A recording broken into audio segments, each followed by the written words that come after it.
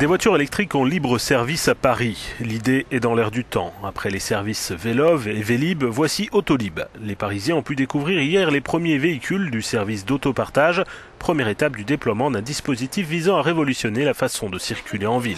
C'est un badge qui, qui va servir. D'accord, comme pour Vélib en fait. Voilà, exactement, et qui sert aussi à ouvrir en fait la voiture. En famille, ben, on prend les transports en commun, mais ça délimite le transport en commun, notamment le soir, ou après si on veut utiliser taxi quand on est en famille, c'est compliqué. Donc je pense que ça, l'autolib, justement, ça peut être une super alternative en fait. hein. Le service confié au groupe Bolloré sera officiellement lancé au mois de décembre. À terme, d'ici la fin 2012, le parc Autolib comptera plus de 3000 voitures disponibles dans Paris et dans 45 villes d'Île-de-France.